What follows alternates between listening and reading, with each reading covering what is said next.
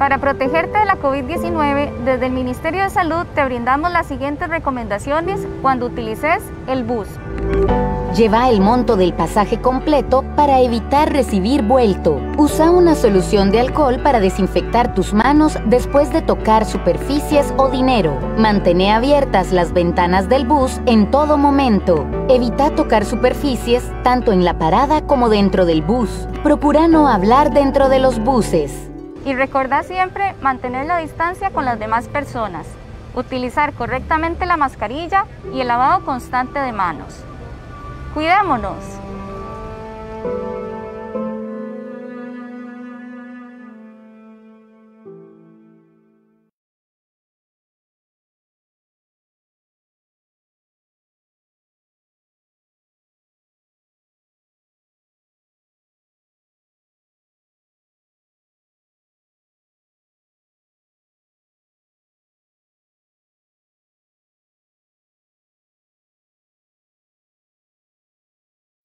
Costa Rica ya cumple un semestre de estar trabajando arduamente para manejar el COVID-19 de la mejor manera posible. Ninguna persona con síntomas respiratorios debe salir de casa, y si no puedes quedarte en casa, es necesario protegerte y proteger a los demás.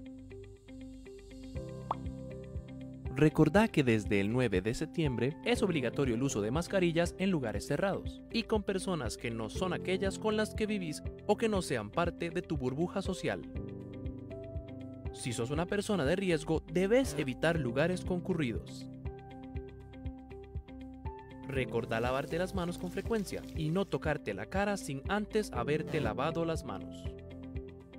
Practica el distanciamiento físico y salí solamente con las personas con las que convivís. No organices ni atendas a fiestas ni reuniones entre personas fuera de tu burbuja social estas crean potenciales situaciones de contagio y ponen a otras personas cercanas a vos en peligro. Usa el protocolo al estornudar o toser y apoya a todos aquellos que necesiten ayuda. Si tenés síntomas que te hagan sospechar, busca ayuda al 1322. La lucha contra el COVID-19 está en nuestras manos.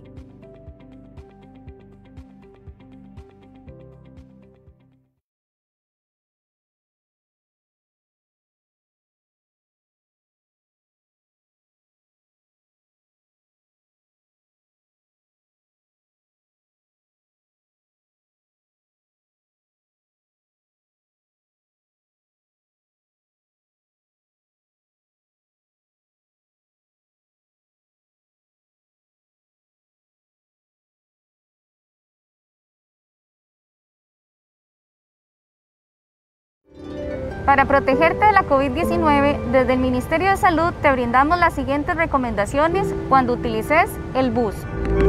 Lleva el monto del pasaje completo para evitar recibir vuelto. Usa una solución de alcohol para desinfectar tus manos después de tocar superficies o dinero. Mantén abiertas las ventanas del bus en todo momento. Evita tocar superficies tanto en la parada como dentro del bus. Procura no hablar dentro de los buses. Y recuerda siempre mantener la distancia con las demás personas, utilizar correctamente la mascarilla y el lavado constante de manos. ¡Cuidémonos!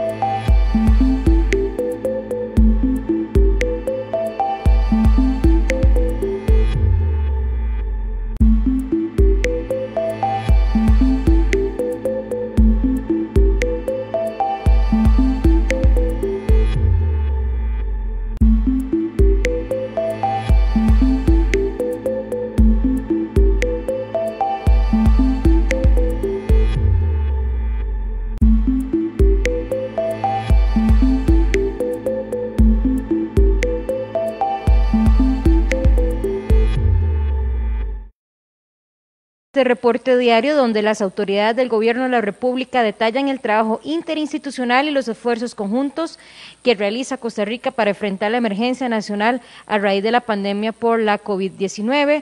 Saludamos al señor viceministro de Salud, don Pedro González, y al asesor legal de la Comisión Nacional de Emergencias, don Eduardo Mora. Escuchamos el reporte epidemiológico por parte del señor viceministro de Salud, don Pedro González. Muy buenas tardes. A hoy, primero de octubre, el país registra 1.068 casos nuevos de COVID-19, de los cuales 274 fueron diagnosticados por nexo epidemiológico y 794 por laboratorio, para un total de 76.828 casos confirmados a la fecha. Se contabilizan 39.843 personas recuperadas. Tenemos 572 personas hospitalizadas, 221 de ellas en cuidados intensivos, para, con un rango de edad de 1 a los 93 años. Para hoy se reportan 13 lamentables fallecimientos, 9 hombres y 4 mujeres, con un rango de edad que va de los 42 a los 97 años. En total se contabilizan 917 decesos relacionados con COVID-19, 350 mujeres y 567 hombres, con un rango de edad que va de los 19 a los 100 años. Por edad tenemos 295 adultos y 622 adultos mayores. El día de hoy, además, queremos anunciar que Costa Rica firmó un acuerdo con Pfizer y BioNTech para suministro de vacunas candidatas. Se le había anunciado a la población que el país había decidido eh, asegurar el suministro de vacunas contra COVID-19 por varios mecanismos. Uno es el mecanismo COVAX, que fue anunciado y firmado y anunciado en días pasados. El día de ayer firmó un acuerdo bilateral con Pfizer y BioNTech. Es parte de los esfuerzos que ha realizado el gobierno para garantizar el acceso oportuno a las vacunas. Esta vacuna se basa en ARN mensajero y fue patentada por BioNTech y respaldada por las capacidades globales de desarrollo y fabricación de vacunas de la empresa Pfizer. Como se anunció, pues está en fase muy avanzada de, investigación en humanos, está en fase 3. Eh, la, la, dotación y esta vacuna pues está sujeto a los resultados de esta, de esta fase 3 de investigación, pero tiene hasta ahora resultados muy prometedores. Así que esperamos que todo vaya en, en buena, que todo se desarrolle en, buenas, en buenos términos. El gobierno de Costa Rica va a recibir, y lo que se firmó fueron 3 millones de dosis. Son dos dosis por habitantes, así que estaríamos asegurando un millón y medio de, de habitantes vacunados, más un millón de habitantes eh, por medio del mecanismo COVAX, estaríamos asegurando a este momento dos millones y medio de personas vacunadas, que cubrirían por el momento a la población de riesgo. No es el único acuerdo bilateral que se está negociando, así que tendremos que ver el desarrollo de futuras negociaciones. Gracias. Muchas gracias al viceministro de Salud, el señor Pedro González. Vamos a escuchar a don Eduardo Mora, quien es el asesor legal de la Comisión Nacional de Emergencias, que al encontrarnos en una emergencia nacional, la comisión tiene un papel preponderante que cumplir en el tema de la adquisición de estas dosis de vacunas. Muy buenas tardes, don Eduardo. Muy buenas tardes. El Plan General de Atención de la Emergencia, eh, decretada eh, mediante el Decreto Ejecutivo 42.227, eh, que declaró estado de emergencia nacional en todo el país por los efectos que produce la enfermedad COVID-19 en la población nacional incorporó dentro de las acciones correctivas o de recuperación la adquisición e implementación de las vacunas. No solo está incorporado el proceso de compra, sino que además se incorporan los elementos adicionales que requerirá en su momento la Caja Costarricense del Seguro Social para poder desarrollar una campaña de vacunación con el mayor alcance posible. Esto implica, además de la adquisición de las vacunas, las eventuales adquisiciones de equipos necesarios para esta debida implementación de conformidad con los requisitos técnicos que exija cada una de las casas farmacéuticas para los productos que entreguen. Como parte de la ejecución de este plan de emergencia o de este plan de recuperación, se deben adelantar procedimientos en un mercado que en este momento se encuentra en alta competencia para desarrollar el producto final de una vacuna en diferentes entidades financieras, en farmacéuticas. Por esto eh, se ha conformado un grupo de trabajo conjunto entre la Comisión Nacional de Emergencias, la Caja Costarricense del Seguro Social, preponderantemente el Ministerio de Salud e incluso asesorados por la eh, Cancillería de la República, para determinar los debidos procedimientos que debemos realizar, tanto en la consecución de los contratos como en la eventual ejecución que podamos tener de estos contratos. En estos procesos se ha determinado que cada casa farmacéutica exige cierto grado de condiciones previos a la eh, formalización del contrato y estos acuerdos preliminares serán comunes cuando se tengan definida la totalidad de las, de las compras que se van a realizar. Tanto el acuerdo de COVAX como el acuerdo eh, que se está anunciando el día de hoy con la, eh, con la empresa Pfizer y BioNTech forman parte de la eventual ejecución del plan de, de emergencia en la parte de recuperación y requerirán una serie de pasos adicionales, formalizaciones y procedimientos que estamos trabajando en conjunto entre todas las instituciones. Muchísimas gracias al asesor jurídico de la Comisión Nacional de Emergencias, don Eduardo Mora, así como al señor viceministro de Salud, don Pedro González, por estos esfuerzos conjuntos para asegurarle al país la adquisición de esta dosis de vacuna. Por favor, don Edgar Fonseca de puroperiodismo.com, escuchamos sus consultas, quien es el medio de comunicación presente aquí en el auditorio de la Casa Presidencial, de, de seguido, perdón, las consultas de los medios regionales. Don Edgar, muy buenas tardes. Buenas tardes, señor ministro. Buenas tardes. Y buenas tardes a la audiencia. Don Pedro, de los más recientes reportes del Centro de Población de la Universidad de Costa Rica, eh, ratifican una tendencia a la baja en la tasa de contagio. Eh, en esas eh, circunstancias, ¿cuál es el panorama que ven ustedes de aquí a las siguientes semanas? En cuanto a mejoría de lo que hasta ahora se ha observado, cuáles son las expectativas por parte del Comité Ejecutivo que está analizando esta emergencia y cuáles serían las recomendaciones básicas para la población con las cifras a hoy, 0,96 eh, de tasa de contagio según el más reciente reporte oficial de la universidad. Segunda pregunta, señor viceministro, eh, hay bastante consulta por parte de eh, ciudadanos, de usuarios, en cuanto a cómo van las pruebas con los antivirales equinos, hasta dónde se ha avanzado y hasta dónde están listas para llegar a, un uso ya más extensivo.